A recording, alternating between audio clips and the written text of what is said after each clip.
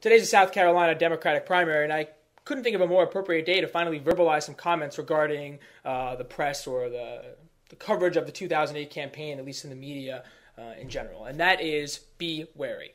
Um, yellow journalism has returned. And this is not sort of to say that everyone in the media is uh, ridiculous and absurd and exaggerating. Um, that would just be a silly and absurd, ridiculous statement. Um, obviously, there's a lot of good sources out there. I respect many people in the press, uh, and I'm grateful for those sources for good information, accurate information, and information that is not charged with emotional language or information that is not relevant but would in some ways elicit some kind of feeling in a reader.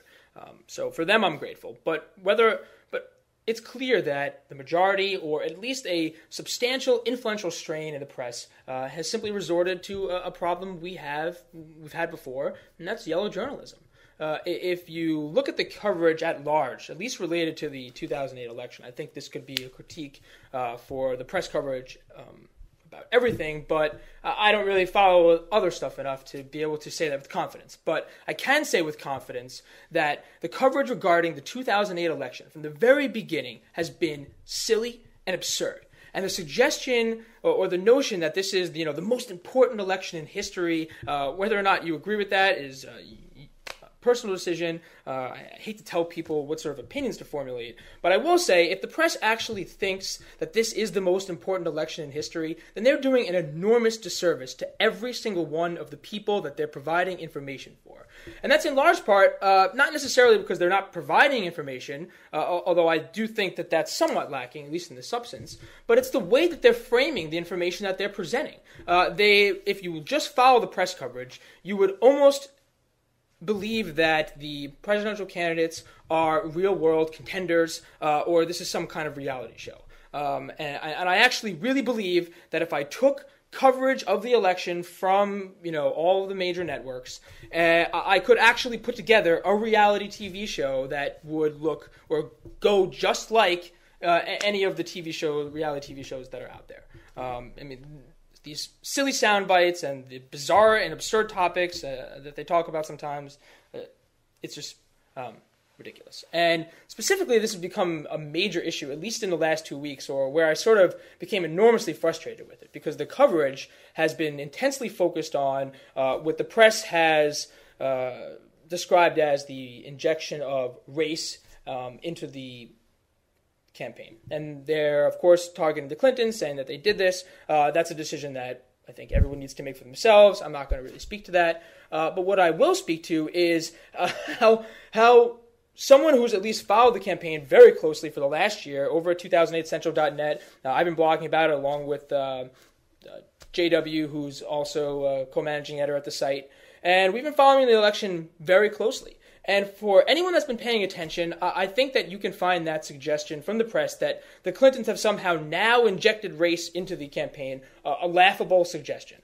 Uh, not because I'm saying that the Clintons didn't do this. Um, again, that's a decision you need to make. But what I will say is that the way the press has framed this is um, silly.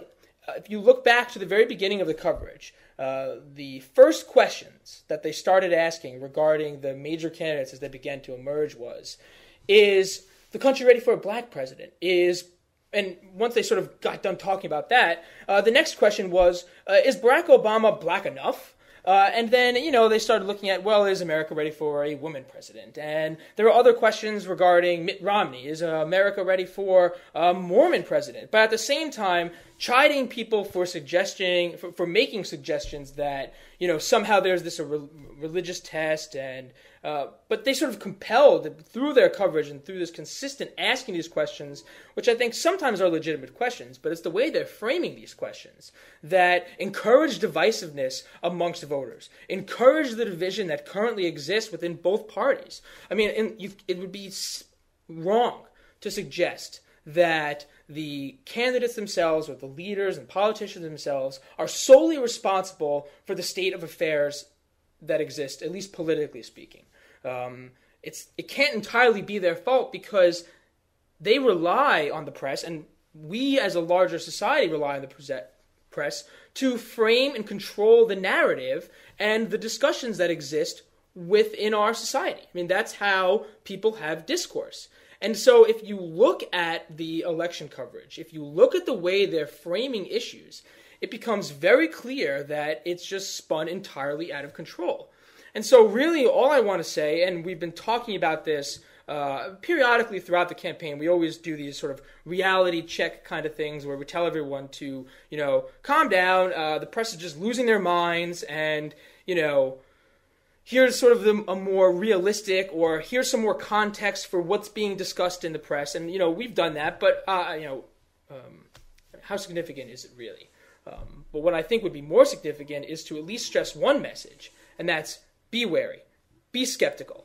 Um, whether or not you're a Republican, a Democrat, a hardcore conservative, a, a, a, a liberal, whatever issues you care about, um, even if what the press is saying is something that you would agree with, maybe entirely, uh, be wary. Be wary of the way it's being framed, uh, because when you look at at least you know perfect example is the most recent debate in Florida. Um, the day or so leading up to it, I mean, the coverage was, or at least the, the statement was, do or die. I mean, that's how they framed this debate.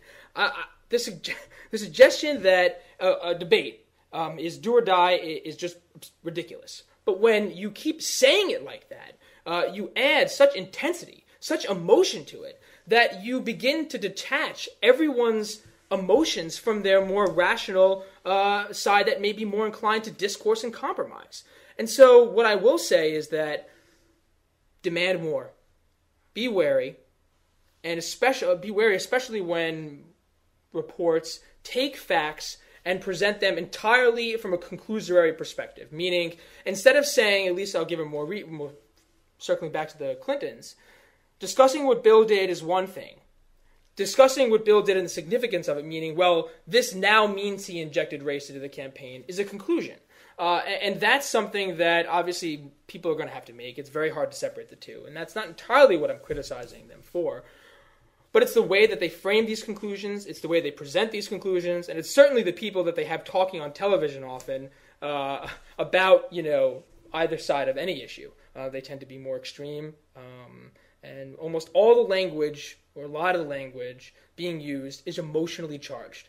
And when you use emotionally charged language, it's very difficult for people to find compromise and for people to really cut through the emotion, to cut through the feelings, and to actually get a hold of the issues and get a hold of what people are really saying and what the candidates are really about.